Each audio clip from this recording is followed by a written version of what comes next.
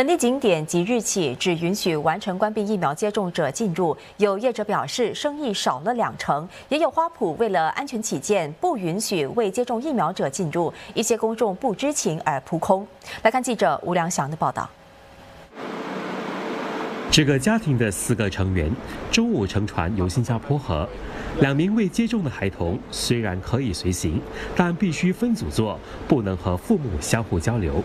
I'm vaccinated, fully vaccinated, so I feel much safer with the new rules because um, obviously when you have the vaccine, you're much less likely to spread the disease.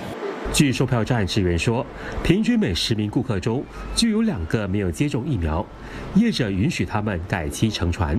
另外，学校年终假期将至，人流估计增加三成。科学馆和雪城表示已做好准备，安排了差不多五到十八线增加这个人手啊。可是这些全部是从不同的单位啊的工作人员，就是到到这个前台啊，然后就是帮助他们啊这个呃顾客们就是迅速的啊让他们来参观。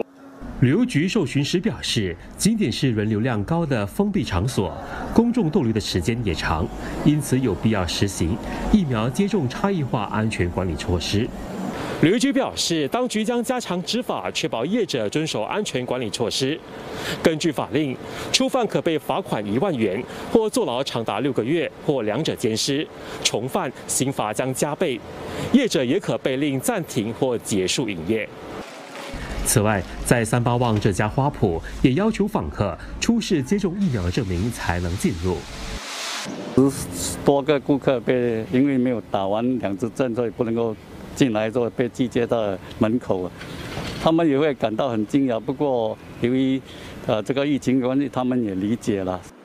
业者坦言，这么做也让他们倍感压力，因为更严格的措施会导致生意而进一步下挫。新传媒新闻记者吴良祥报道。